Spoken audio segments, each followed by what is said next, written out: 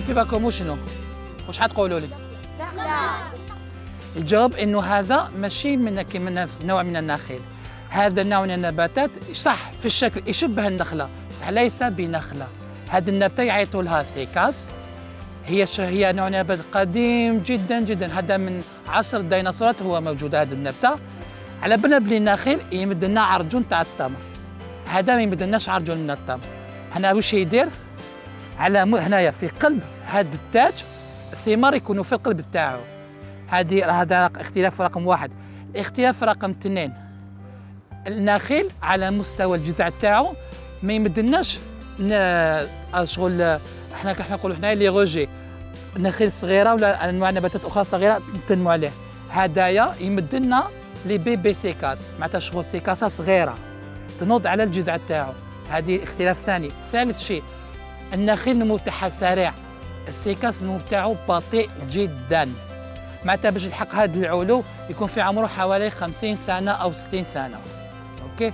وفي الحديقة الفرنسية علاش داروا هذا النوع من النخيل؟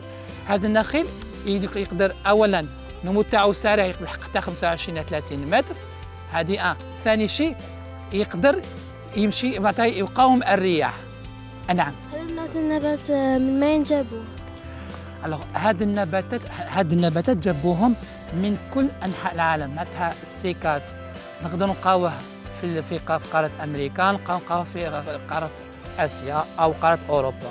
لأنه هذه النباتات في الماضي صح كان كان نلقاو في في في, في المكسيك أو نباتات في هذه درجه حراره مرتفعة.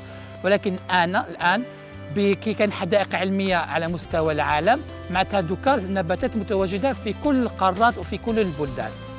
أوكي ولادي. هاي نمشيو دوكا رايحين مش حنروحوا للحوض الثاني تاع الحديقة الفرنسية ونشرح لكم علاش فيها احواض الوغ هنايا راكم تشوفوا بلي هذه النبتة راهي زابينا شكل دائري. هذه التقنية عيطوا لها لا توبياغا. هو تقنية يستعملوها بزاف الإيطاليين. نعطوا النباتات نعطوا لها أشكال هندسية إما دائرية إما شكل حيوانات. وهو هذه التقنية لازم العامل اللي يديرها يكون يعرف مليح كيفاش يصبر النبتة بأشكال هندسية. هذه علاش قلت لكم الحديقه الفرنسيه تعتمد بالكثير على الأشكال الهندسية.